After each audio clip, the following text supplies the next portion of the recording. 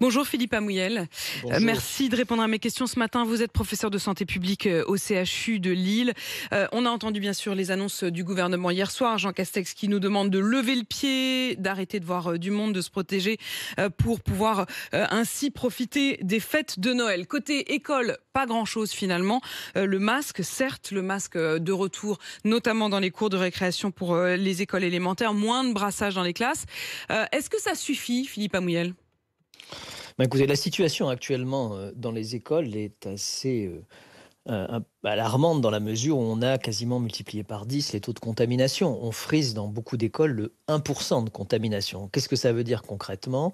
Ça veut dire que euh, un enfant dans une classe euh, de 25 a une chance sur 5 de se faire contaminer. Donc un foyer de transmission de l'épidémie qui est important et qui pourrait relancer finalement cette, cette vague et faire en sorte qu'on n'arrive pas à contrôler la transmission. Il aurait fallu faire quoi alors? Idéalement, du point de vue sanitaire, hein, je, je, sens bien que du point de vue sanitaire, ce qu'il faut voir, c'est qu'en dessous de 6 ans, il n'y a pas de port de masque. Il y a une circulation quand même importante, en particulier dans les maternelles, hein, quoi qu'on quoi qu'on fasse, quoi qu'on en dise.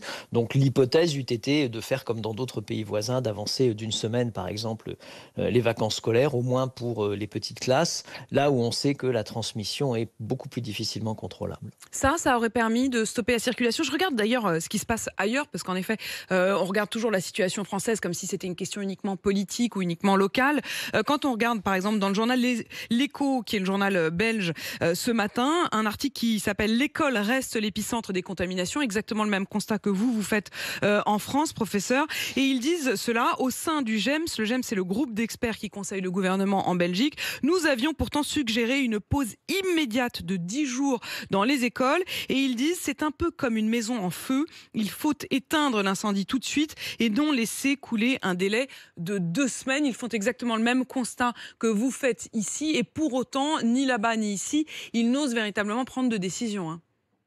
Alors oui, hein, parce qu'on sait bien, on a bien vu par exemple euh, au cours des vacances de la Toussaint, euh, puis euh, du week-end de la, de, la, de, la Toussaint, que finalement on avait cette explosion, elle est intervenue, cette croissance rapide est intervenue juste après, au moment où on a réouvert les écoles.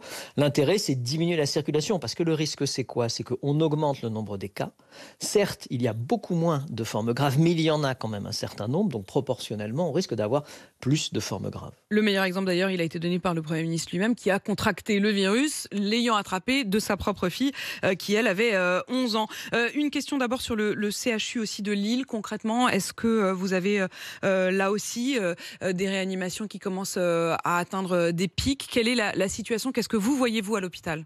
Alors depuis vendredi 16h, on est passé en plan blanc, c'est-à-dire qu'on est en train de s'organiser pour essayer de libérer un maximum de lits, dans la mesure où on attend bien sûr, comme tous les départements, une vague importante. On a déjà une charge très importante au niveau des réanimations, des urgences pédiatriques et des services de réanimation, parce que cette vague ne va pas être composée que de Covid, elle va être également composée de patients atteints des anciens virus grippaux, des anciens virus hivernaux qui reviennent à la charge en raison de la diminution de euh, la prise en charge des mesures barrières par les Français.